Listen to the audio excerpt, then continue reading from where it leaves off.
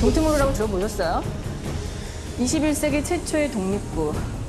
아무것도 없으니까 이제 시작이죠. 김영, 동대문 가면 이런 거 6천 원이면 떡을 치요. 그럼 다 짝퉁이잖아, 짝퉁. 에이, 짝퉁이라니.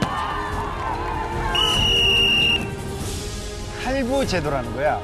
원데이 원타임 원달러를 나한테 give money 하면 되는 거야. 괜찮지? 꿈도 형편에 맞게 꿔야지, 어?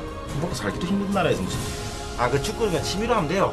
야 가난하면 꿈도 가난해야 돼? 자 지금부터 너희들은 내 팀이야 국제대회? 안 돼, 이건 안 된다고. 아직도 네편 내편 가지고 총 들고 설치는 나라에서 내가 뭘 해쳐먹을 게 있다고 여기까지 왔냐?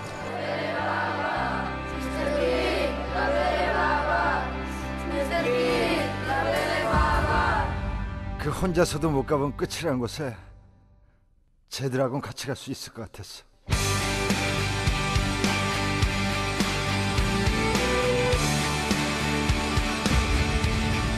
얘들아 거기 기지 않아도 돼 후회하지 않게 끝까지 최선을 다하면 되는 거야 알겠어? 알겠어요.